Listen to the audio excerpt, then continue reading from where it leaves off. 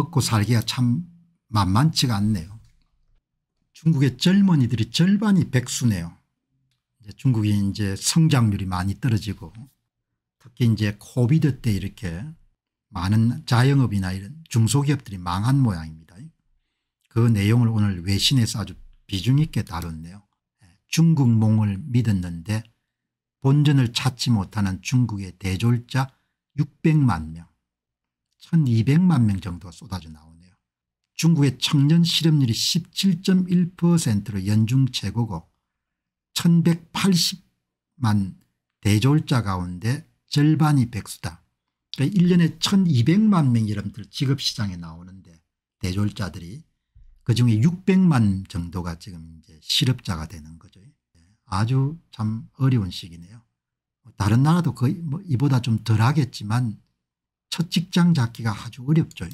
작년 6월 중국 국가통계국은 청년 실업률이 역대 최고치인 21.3%가 치솟았다고 발표했는데 실질적인 청년 실업률은 46.5% 혹은 48% 50% 대졸자 1180만 명 가운데 절반이 이제 백수가 되는 겁니다. 그러니까 이제 우리도 상황이 녹록지 않지만 다른 나라 상황을 보게 되면 훨씬 더 이제 비교해 볼 수가 있는 거죠. 내용을 상세하게 다뤘네요.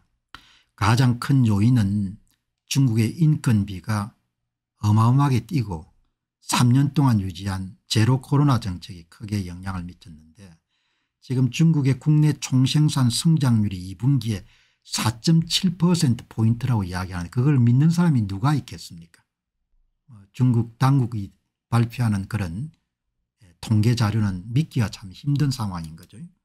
1300만 정도가 2023년엔 1300만 정도가 그 계속 악화가 되겠네요. 대학 입학자들이 더 늘어나네요. 그래서 이 한 전문가는 청년 실업 문제는 앞으로 10년간 지속될 것이고 단기적으로 계속 나빠질 전망이다. 모든 나라가 이런 고민을 갖고 있는. 직장을 잡기가 어렵다는 거죠.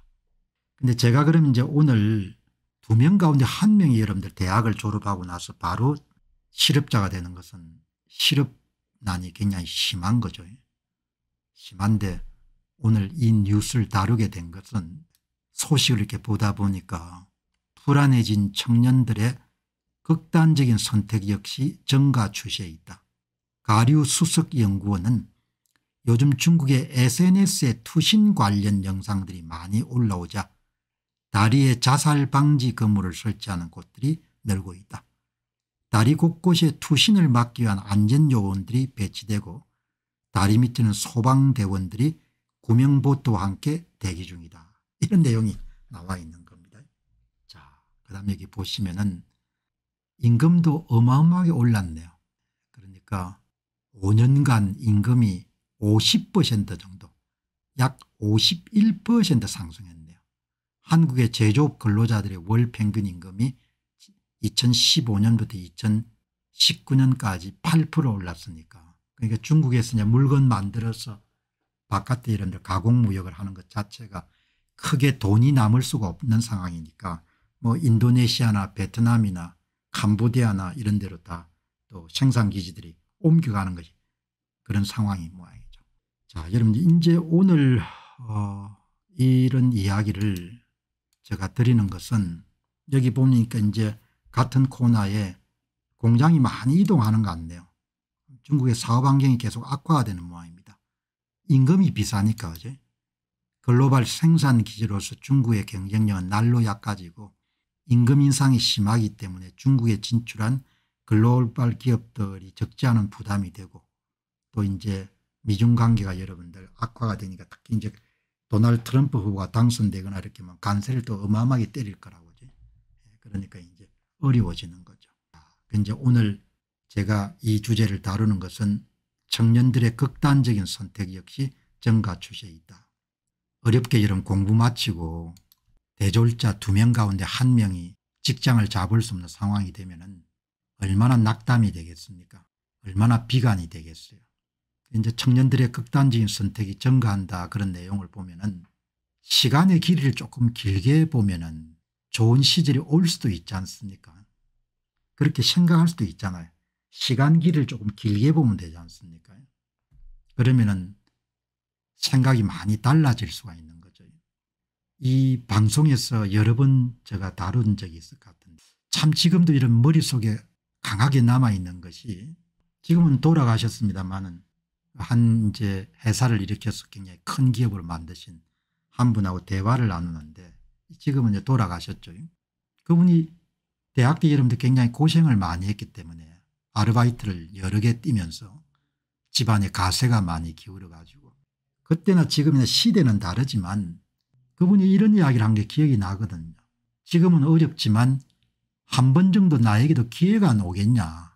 그게 젊은 날 고생을 지탱하는 데 큰 힘이 된 믿음이다.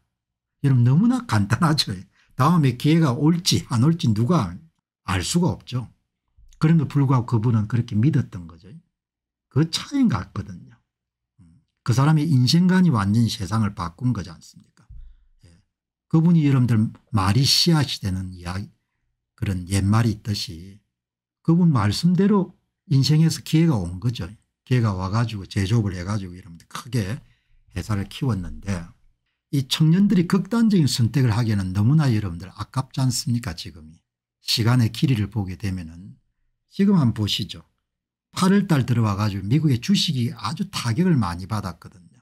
그게 8월 초에 비해 가지고 8월 한 셋째 주 정도 둘째 주 정도 얘는 거의 20% 정도 여러분들 주가가 빠졌지 않습니까 20% 정도 되면 엄청난 조정인 거죠. 근데 지금 8월 말인데 8월 말도 안 됐네요.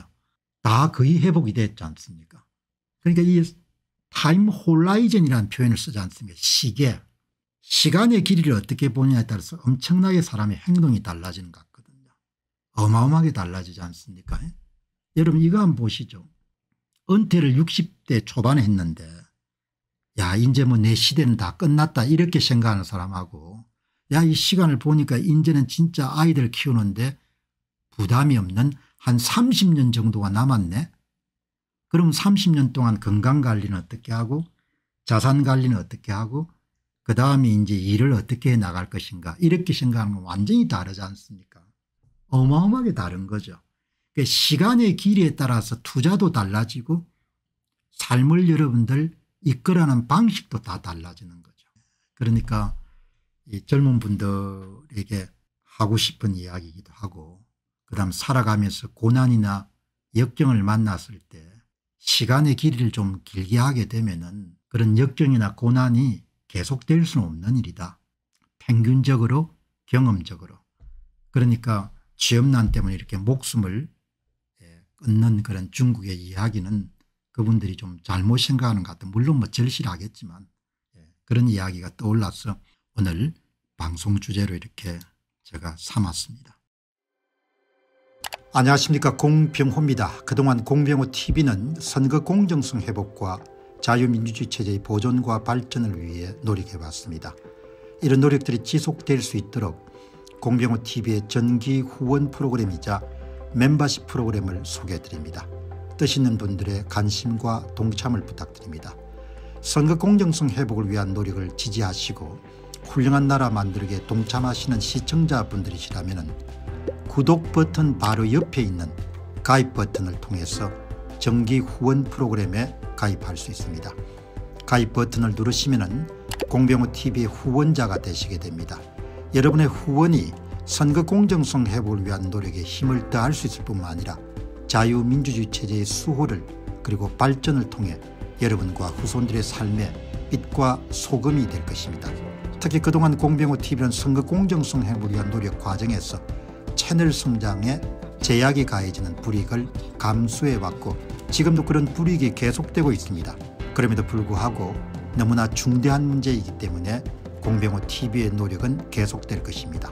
여러분의 깊은 관심을 부탁드립니다. 감사합니다.